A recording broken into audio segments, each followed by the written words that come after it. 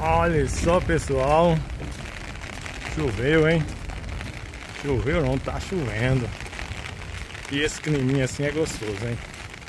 Você que acha? Cidade do interior. Agora aí já tá Vai dar 7 horas da noite. Aquele Aquela sopinha quente. Aquela janta gostosa. Um pãozinho. Tem coisa melhor e para dormir com esse clima. Ei, clima bom, velho. Ainda mais aqui no sertão. E o valor da chuva é mil vezes mais que aí em outras regiões. Porque aqui, período de chuva, ele é curto. Geralmente é janeiro, fevereiro, dezembro. Então assim, é dois, três meses e aí acaba. A gente fica o ano inteiro só na seca. E quando a chuva chega, é alegria ao dobro.